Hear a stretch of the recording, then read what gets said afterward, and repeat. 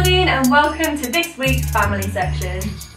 We hope that you've had a great week. It is so lovely to have you with us today. Let's kick off our morning with another festive cracker joke. What do you call a three-legged donkey? Oh, a monkey.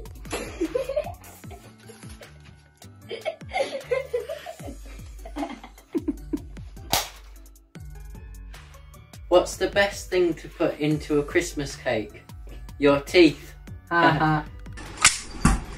What do you call a cat in the desert? I don't know. Sandy Claus.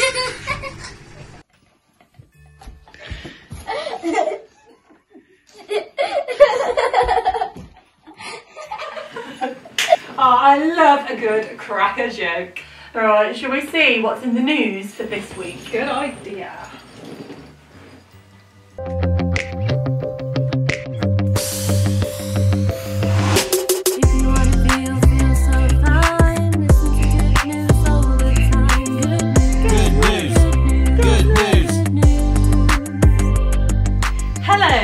Welcome to Good News. Our first good news story of this week is the story of a couple who were reunited with their wedding album, which had been missing for 20 years. A lady from Plymouth found the album and took to social media to share the album far and wide with the hopes of returning it with its rightful owners. After over 8,000 shares on Facebook, the couple were tracked down and said, This is the best gift anyone could have given us. How amazing! We also have reports of more strange sightings, this time by some shepherds. Let's head to our reporter on the field now and find out more. Hello everyone. Today's story is both strange and exciting. Some shepherds were in the fields nearby watching their flocks when all of a sudden they saw an angel standing before them and the place they were sitting lit up so they felt frightened. Then the angel said to them, Don't be afraid because I'm bringing you some good news. It will be a joy to all people. Today, your Saviour was born in David's town. He is Christ the Lord, and this is how you will know him. You will find him wrapped in cloths and lying in a feeding box.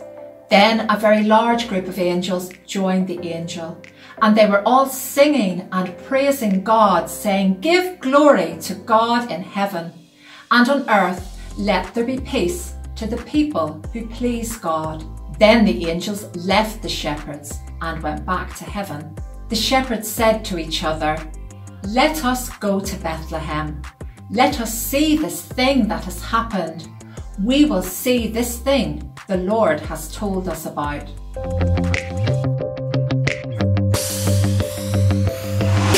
If you wanna feel, feel so fine, listen to good news all the time. Good news, good news, good news. Have you ever received a gift that you really weren't expecting? I'll let you think about that for a moment. The saying goes, red sky at night, shepherd's delight. But for these shepherds, it was more like angels in the night gave them a fright. I think it's safe to say that as these shepherds watched their flocks that night, a crowd of singing angels was really not what they were expecting.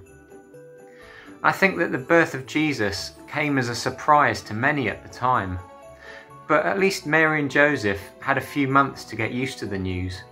The wise men, too, they'd travelled a long distance from when they first saw the star, and so in all the time it took them to journey, they must have been quite excited at the anticipation of finally meeting this new king.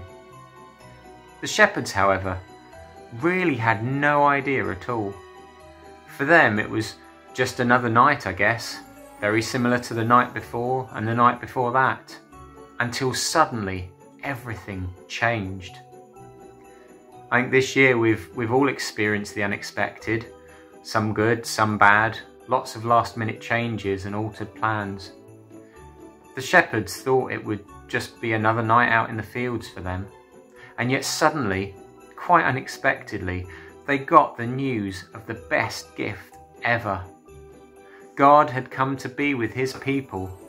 And those shepherds not only got to hear about the good news, but to receive the good news, to actually meet Jesus.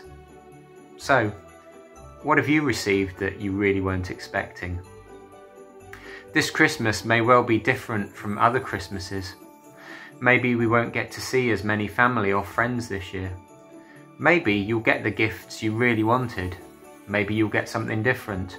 Or maybe you'll get something you really weren't expecting. Whatever your Christmas is like this year, and whatever you get, remember the greatest gift of all Emmanuel, God with us, always, everywhere, at all times. In a world that can be so uncertain, He is the same yesterday, today, and will be forever. No matter what, no matter who we are or where we go or what we go through, God is with us and for us. And we can not only hear about this amazing news, but we can meet Jesus too. We can meet him in the stories of the Bible. We can meet him in prayer. We can meet him in worship and have him with us through his Holy Spirit. Always, everywhere, for life, not just for Christmas. Thanks for that, Steve. It's a great thought for us to reflect on this week. I think it's about time for this week's challenge. Mm. So, shall we see what this week has in store? Indeed. For this week's challenge, we are going to turn ourselves into reindeers. Did you get the hint? Little jingles, little jingles. So, for this challenge, we are going to need to inflate six balloons, three for each antler, fill them into the tights, and it's the first person to get it on their head with their little antlers. Ready? Steady, go! I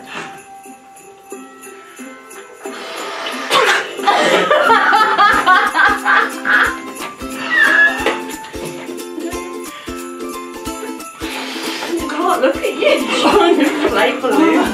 I'm gonna pass out. I've only done one. Yeah, one.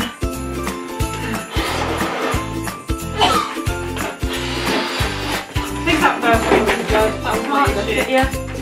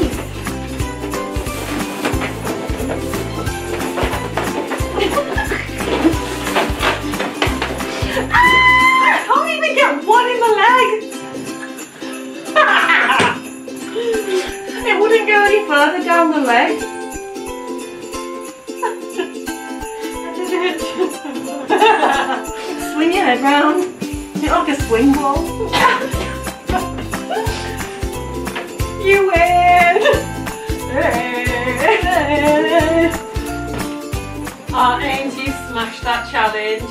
Our pro reindeer, pro reindeer. Up next today, we're going to check out this week's Christmas craft. Let's go take a look.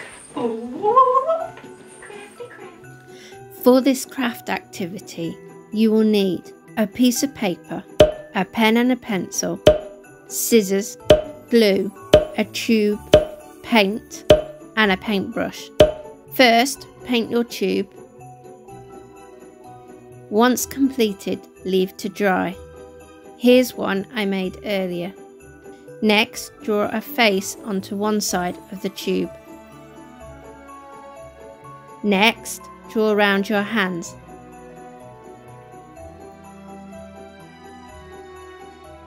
Now cut them out using the scissors.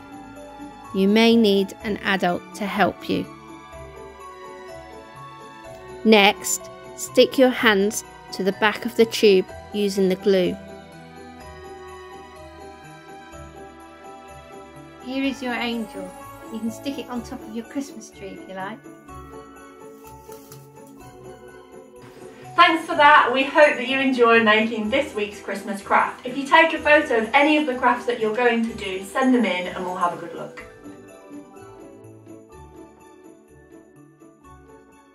I'm so thankful I'm able to spend this festive time of year with my family, friends, community, and church. As we all know, Christmas will be a little different this year. Let's not forget the true meaning. Every year, I walk into my nan's house, smelling the candles, Opening the presents but especially spreading the love and joy of, of Christmas. Christmas. I think that Christmas is all about giving to the less fortunate, remembering the peace in the world, spreading happiness and joy to everyone around you. And don't forget having a yummy Christmas dinner. But let's never forget the true meaning of Christmas Jesus. He's the reason for Christmas Day, He's the reason that this world began. We're so lucky to have Him in our life as a church. And if Jesus weren't here, I don't think anyone would like to live in this world. Jesus has set peace. But also, let's never forget to grab our Christmas jumpers and have a very Merry Christmas with our family. Merry, Merry Christmas, Christmas. everyone! Bye! Thank you for joining us for the second part of our Christmas family special. We look forward to seeing you next week. Bye! Bye! Hi! Hi! good news, good news, good news. Ba, ba, ba, ba. For this week's craft, we are going to make ourselves into.